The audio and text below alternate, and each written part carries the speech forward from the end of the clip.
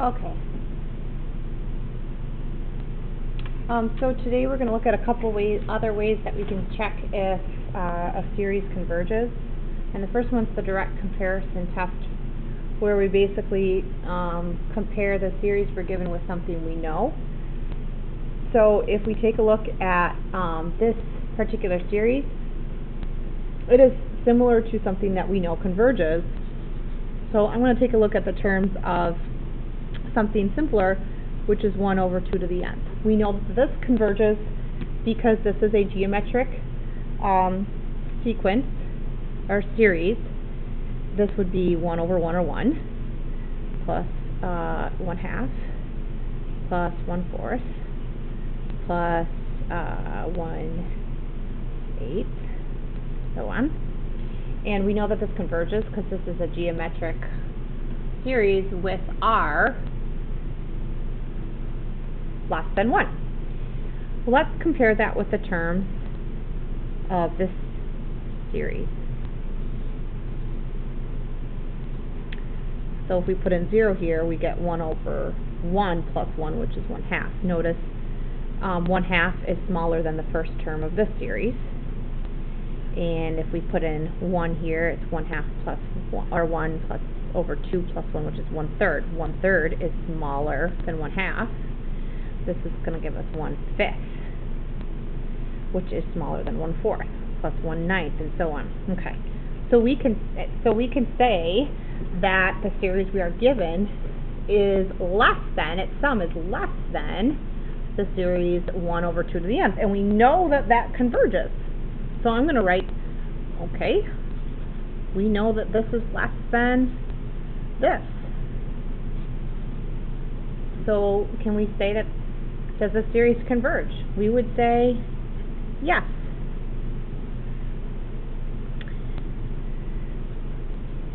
Since it's smaller than the summation of 0 to infinity of 1 over 2 to the n, which we know converges.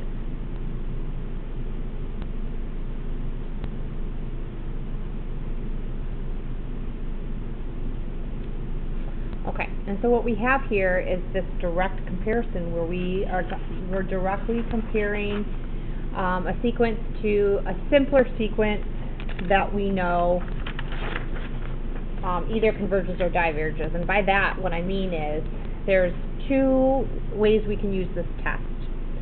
First of all, if the series we are given is a sub n, and we can pick something that we know by looking at the terms is bigger and converges, then we can say that that series converges. The second way is if the series we are given um, is this series right here, and we know it is bigger some, than some simpler series that diverges, we can say that the series we are looking at diverges. So you kind of have to have in your mind a little bit um, what you think your answer is first, and if you want, you can look at terms and graph them as well. So let's take a look at a couple examples. Um, so I am going to compare um, this to um, 1 over 2n squared.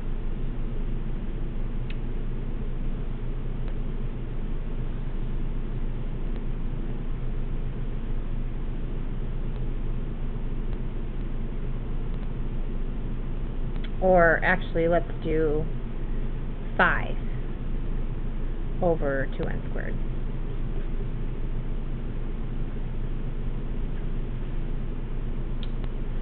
And my guess is that um, that this converges, and I'm going to try to show some of these terms.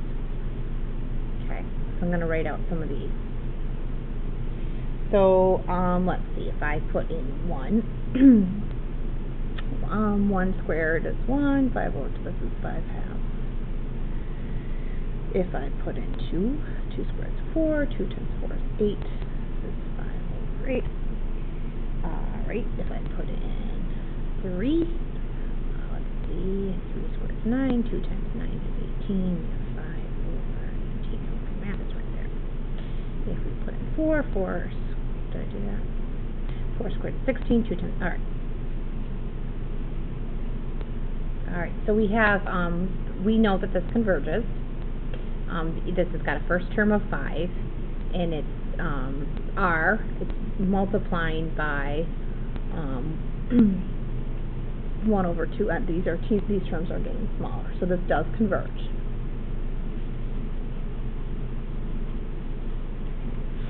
Let's write some of these.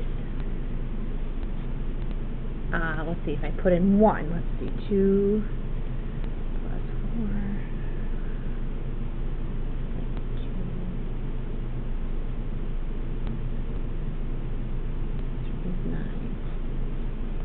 Okay. This is, notice 5 over 9 is smaller than 5 over 2. Okay. For 2, um, let's see, 2 times 4, 4 times 2, 3, 5 over 19. Again, smaller than that. Um, if I put in another term, okay. So I'm getting that, um, we know that this simpler series converges. so,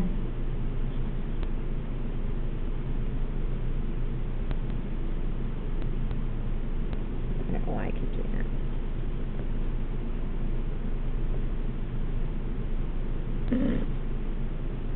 Two n squared plus four. Squared,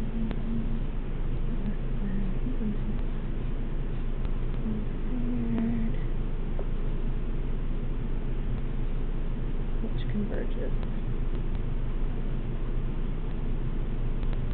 So since it's smaller, this series is also going to converge. Okay. Well, um, what about this next one? Um, it might be a little harder to see, but I'm going to compare this to um, the P series or the harmonic series 1 over n. And we know that the series 1 over n, because P is equal to 1, diverges. And so what I'm going to try to show then is this is going to also diverge because it's going to be bigger than that one that we just saw. Okay? And so if I wrote some of these terms out, um, that would be the natural log of 1 over 1, um, natural log of 2 over 2, natural log of 3 over 3, um, natural log of 4 over 4, and so on. Okay? Um, this is, I'm gonna, I'm gonna make the statement that that is, this series is greater than or equal to the harmonic series, or the P series 1 over n. I'm gonna write some of those terms below, so you can see what I mean. This is 1 over 1, which is a 1. Since natural log is bigger than 1, natural log of 1 is bigger than 1, this term is larger than this term. The next is 1 half. Again, the top, compare the numerators. Natural log of 2 is bigger than 1. And so, since natural log of 2 is bigger than 1, what we know is that this term is also larger. Um,